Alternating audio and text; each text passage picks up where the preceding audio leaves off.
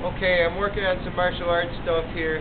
I'm going to start off with uh, a few unarmed defenses against an armed person.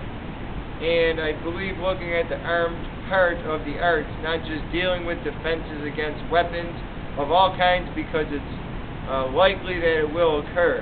Uh, MMA is great and I'm influenced greatly by it in its training methods, but the weapons aspect uh, is definitely a part of street encounters in real life we must look at.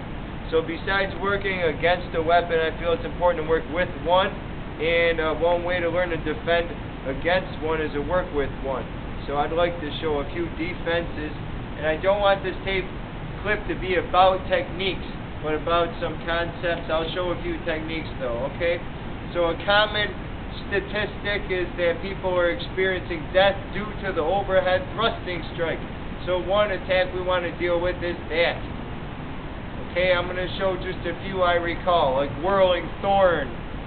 Okay, the, the, the strike is coming to my high left. Come on. Boom, I might whirl a thorn around. A whirling thorn whips it back into a person.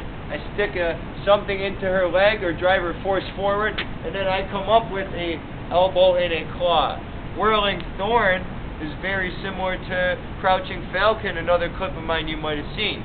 Again, overhead strike comes, I move offline and double carry, thrust a weapon into her thigh or his thigh or the thigh of the attacker, redirecting the downward thrust down to their thigh, coming up and down with some finishing uh, elbow and claw movements.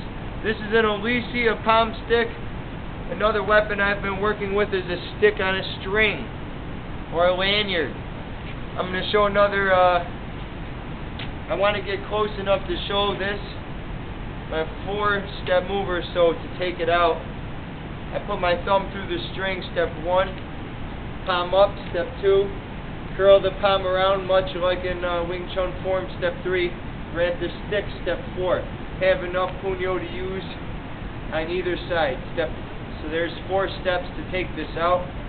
It's a stick, a very dense, hard stick from uh, gift I got.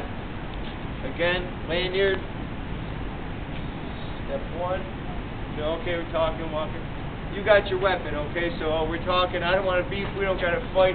I don't know. Just stand back. Maybe I'm gonna kick you. I'm, I'm, I'm gonna, if you come closer, I'm gonna mess with you. I'm working on deploying my weapon, okay? I want you to take your palm stick. You got one? So if I get my weapon, she gets hers. What I want to look at is a weapon to weapon drill. Now it's both people armed. I'm not just taking away this. You feed me that I could cut this immediately or strike. From here I'm going to curve, hook down, around, pass it.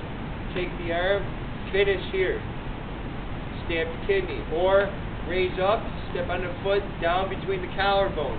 Or into the neck. There's three targets to start, okay? She feeds downward strikes, This is pale. I circle and step. That could be, if it was bladed weapon, cut. This could be striking. In Kempo, I know there's raking movements. Well, this and rides across on the way to block, deflect, and I curve. Now I'm on the outside even though I started on the inside. Open palm and parry, take the kidney, up, take collarbone, okay? That's advanced work, weapon to weapon drill. There's four targets I took. The kidney, down in here the subclavian, clavicle area, the neck. Now I'd like her to demonstrate the four-step grip. I asked her to work we worked with the palm stick and dealing with some techniques. I know a technique called Dance of Death where you parry a push or punch and you go low, sometimes with a ridge hand. Here's with the weapon, I showed Martine the fourth step to get that stick ready. If she concealed it and kept it low, I advanced. Do you remember the four steps you did? Watch me in the air first, okay? If I'm facing the same way you are, if you move back, I want you to work on getting that stick ready first more steps to get it. Once you once it's loaded, keep it hidden. Carry back as though you don't want to fight. When I advance, you carry back. I want you to go for the door one. The hand that was five, arm. I want you to hold up the shot. Double down. Double down. That's it. Very basic weapons-based technique. Now, I don't have the weapon, she does. I want to look at all these scenarios. unarmed against armed, armed against armed. Maybe she needs to be armed, and she's justified too if I'm bigger and stronger. I want to want to see all these scenarios in practice. So again, she's working the four-step technique just to get a weapon out because it won't do her any good if she can't get it out. I can grab this stick. That's more difficult. Motor skills are going to have to be developed. The gross motor skill pattern of striking down comes in handy when she blocks, groin strike, overhead, overhead. Okay? That's our that's our technique, okay? If she fed me a strike, I could do the same technique without a weapon.